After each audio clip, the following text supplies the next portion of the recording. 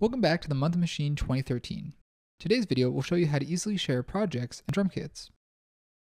When collaborating on a project with others, it's really important that every sound in a project is shared.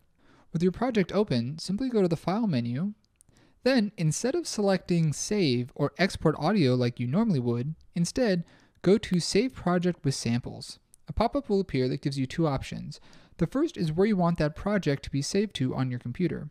The second will determine whether or not Maschine will include any unused audio files that may take up extra space.